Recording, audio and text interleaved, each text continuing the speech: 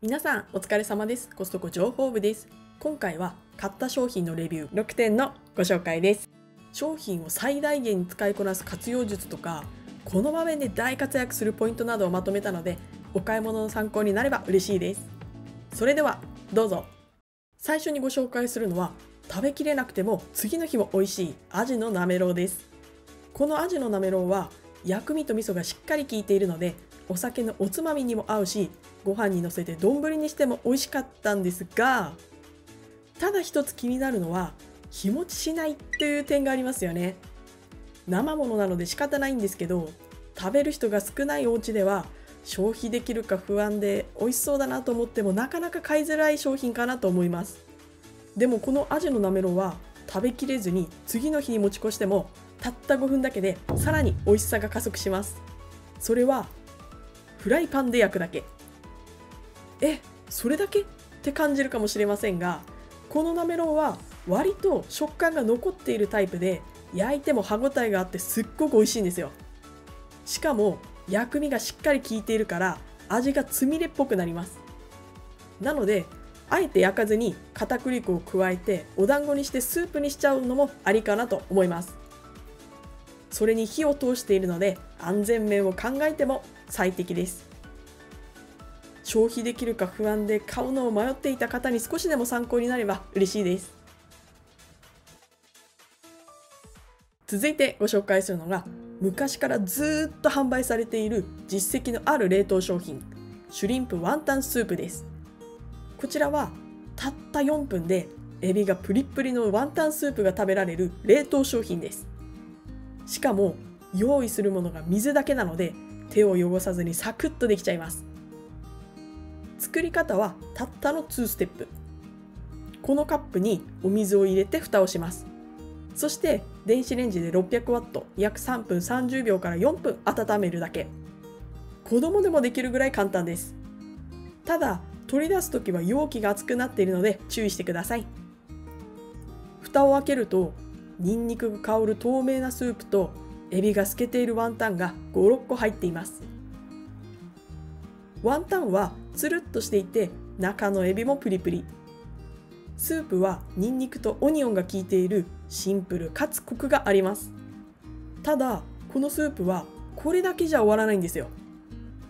冷蔵庫によくある卵やお豆腐余りがちなカニカマ。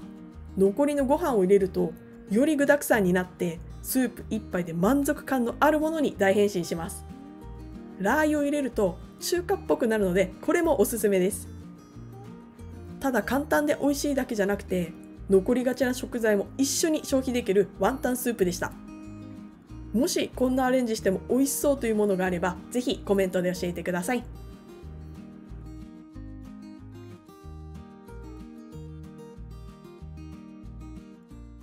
続いてご紹介するのがもうすごすぎてこんなの人生で初めて。Y by よしきです。日本人なら知らない人はいない。アーティストの YOSHIKI さんが手掛けている赤ワインです。今までコストコでいろんな赤ワイン飲んできたんですけどどれとも似つかない唯一無二の存在です。まず香りがフルーティーでこれは他のワインもフルーティーな香りはたくさんあるんですけど一番他のものと違うのはテイストです。飲んでみるとアルコールのツンとした感じがほとんどなくて後味がすっきりしています。なので冗談抜きでブドウジュースを飲んでいるような感覚になります。これがワインの飲み比べに1本あるとジョーカー的な存在で楽しめると思います。アーティストがゆえなのか飲む人も存分に楽しませてくれる特別な1本でした。続いてご紹介するのが冷凍のカークランドガーリックバターシュリンプです。こちらは海外のレストランで食べているようなクオリティが楽しめるガーリックシュリンプです。去年の年末頃に販売されたばかりで冷凍コーナーの中では割と新しめな商品になります。作り方は簡単でフライパンに全部ダーって入れてかき混ぜながら8分から12分温めるだけで完成です。もう作っている時からニンニクの香りがして誘惑がすごいです。お腹空いてきます。食べてみるとエビに染み込んだバターとチーズのコクが口いっぱいに広がってタイムの香りがふわっときます。これが海外っぽいテイストなんですけど日本人の口にも合うマイルドなハーブの香りです。特にこのソースはパンとかご飯を入れて食べたくなるようなやみつき感があります。エビもプリップリです。なのでエビが主役のお惣菜かと思ったらソースのクオリティが異常に高いガーリックバターシュリンプでした。個人的には味は美味しいんですけど値段を考えてしまうと少し高く感じるので割引されていたらまた買いたいなという感じでした。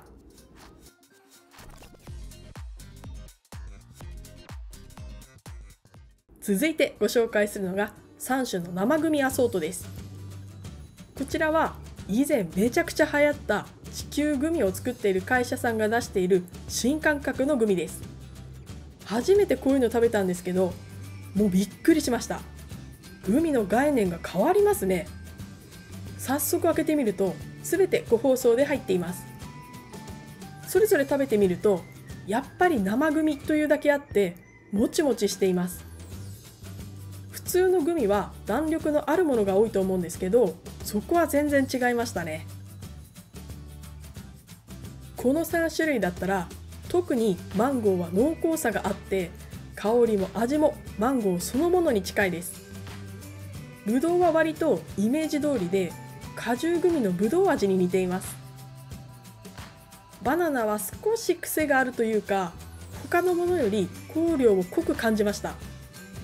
なので本物に近いというより人工的なもの感が強くてもしかしたら苦手な人もいるかもしれないなと思います。確かに食感はもはやグミじゃないってぐらい新感覚ではあったんですけど全部の味が美味しいかと聞かれたらやっぱりバナナはそこまで押せないかな。マンゴーだけなら永遠にリピートしていたい。続いてご紹介するのがステファン・デストリーフルール・ドセルチョコクッキーです。こちらはベルギーにあるビスケットの専門店が厳選された素材を使ってこだわって作ったクッキーです。そのおかげで上品なクッキーに仕上がっています。そう。チョコなんだけどただ甘いだけではないんです。食べてみると口の中でホロホロ崩れていきながらココアの優しい甘さとお塩のほんのりとした塩気が広がっていきます。これがすごいのはただ甘じょっぱいのではなくお塩の一歩引いてチョコを引き立てるような懐の深い感じが素敵だなと感動しました。まさにお互い最高のパートナーっていう感じです。最初はちょっと値段の張るチョコクッキーかと思いきやお互いの特徴が邪魔せず息ぴったりの上品なクッキーになっていてこれには納得のお値段でした。日本ではなかなか味わえないクッキーだったので気になる方はお手に取ってみてください。今後もみんながハマった人気商品やおすすめ商品紹介していきますのでそういった動画をこれからも見逃したくない人はぜひ今のうちにチャンネル登録をお願いします。最後までご視聴いただきありがとうございました。それでは次回の動画でお会いしましょう。